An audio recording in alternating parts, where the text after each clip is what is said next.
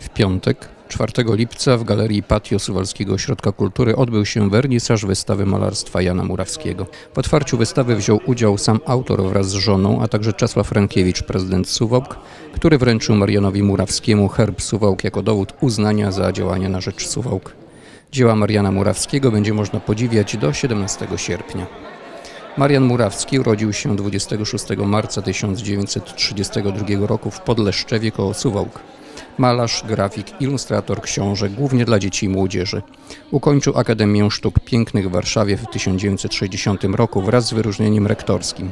Dyplom w pracowni profesora Józefa Mroszczaka w dziedzinie grafiki użytkowej oraz w pracowni profesora Wojciecha Fangora w dziedzinie malarstwa. Chciałbym serdecznie podziękować Państwu za to, jaką sympatią i dobrym sercem obdarzacie nasze miasto. Mówił Czesław Rękiewicz, prezydent Suwałk w trakcie wernisażu. To niezwykle budujące, że są tacy ludzie, którzy bezinteresownie niosą pomoc.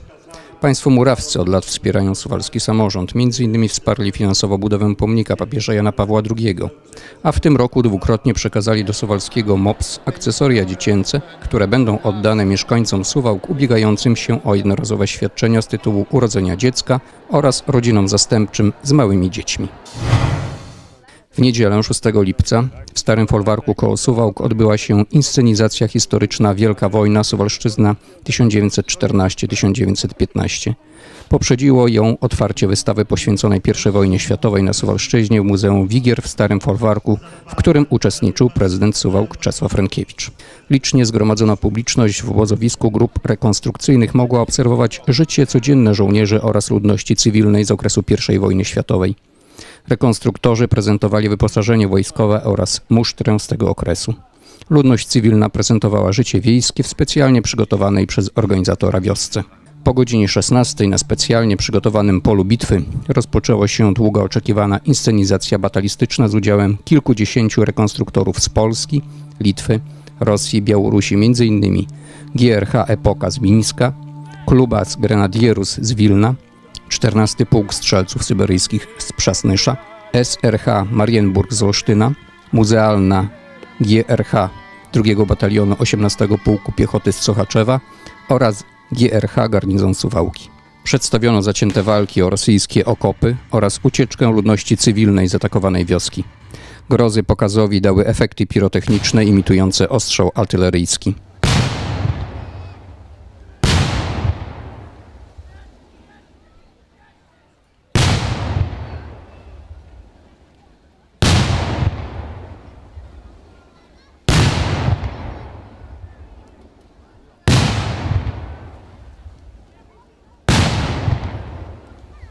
Przerwie walk przedstawiono chwilowy rozejm między walczącymi, znoszenie poległych i pomoc rannym okazywaną przez siostry miłosierdzia strony carskiej armii oraz sanitariuszy pruskich. Pokaz zakończył się zmasowanym atakiem wojsk pruskich i w ostateczności zdobyciem rosyjskich okopów.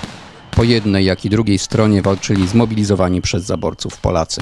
Rekonstrukcja Wielka Wojna Suwalszczyzna 2014-2015 została przygotowana przez Muzeum Okręgowe w Suwałkach w ramach projektu Wydarzenia I wojny światowej jako element wspólnego kulturowego i historycznego dziedzictwa Suwalszczyzny i Zaniemenia, wdrażanego w ramach programu współpracy transgranicznej Litwa-Polska. Wkład własny do projektu zapewnił Urząd Miejski w Suwałkach. mówią Państwu tu, w Muzeum Wigier, a w połowie lipca wyjeżdża do Olity i tam będzie prezentowana w Muzeum Regionalnym. E, Wystawa, inscenizacja, którą za chwilę